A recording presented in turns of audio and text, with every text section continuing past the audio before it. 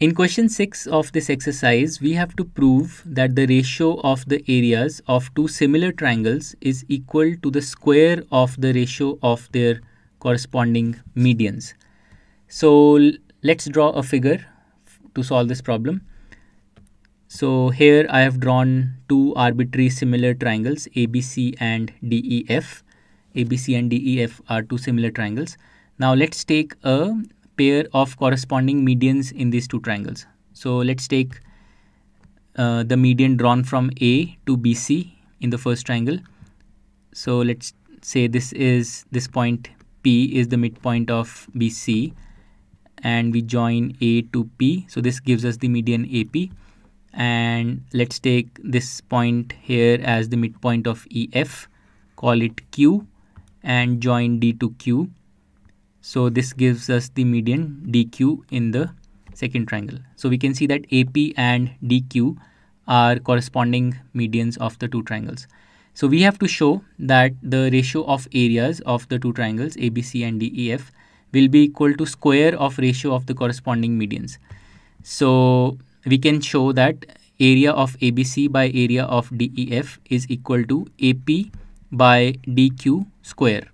So you take the ratio AP by DQ and square it, you will get the ratio of the areas. So this is actually a very simple problem. Uh, it's based on two simple steps. So first you show that the ratio of medians is equal to the ratio of corresponding sides. So for example, AP by DQ will be equal to AB by DE. And this is something we've already shown earlier as part of a previous question in this exercise.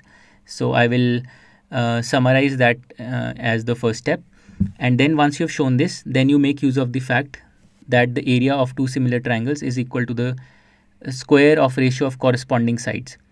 Okay so and if the ratio of corresponding medians is also equal to the ratio of uh, corresponding sides then it follows that the ratio of areas is equal to square of ratio of corresponding medians. So let's write out um, this uh, reasoning step by step. So step 1 is to show that AP by DQ, the ratio of medians, is equal to AB by DE, the ratio of sides. So for this purpose, let's compare the triangles ABP. So let me highlight it for you. Triangle ABP is this triangle and compare it with triangle DEQ, which is this triangle. So let's compare these two triangles and show that these two triangles are similar. So in triangle ABP and triangle DEQ. So how can we show that they are similar? So this angle at B is equal to this angle at E uh, because triangle ABC and DEF are similar. So angle B is equal to angle E and this is because triangle ABC is similar to triangle DEF and also if you take the ratio of the sides including this angle so if you take AB by the corresponding side DE and if you take BP by EQ BP by EQ can you say that these two ratios will be equal well, yes, because BP is simply half of BC and EQ is simply half of EF. So if you take the ratio BP by EQ, this will be equal to BC by EF. But BC by EF we already know is equal to AB by DE. Again, because the two triangles ABC and DEF are similar.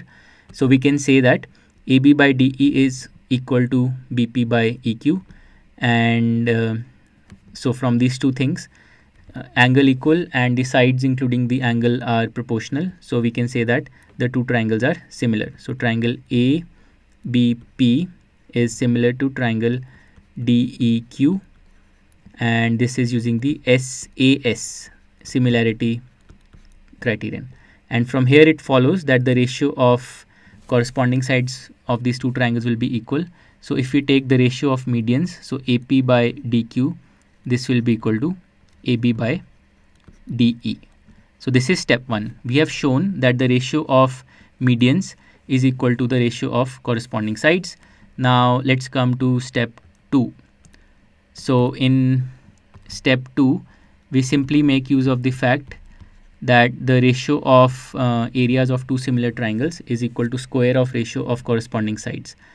So we can say that area of triangle ABC by area of triangle DEF uh, is equal to AB by DE ratio of corresponding sides but the square of this. So AB by DE whole square.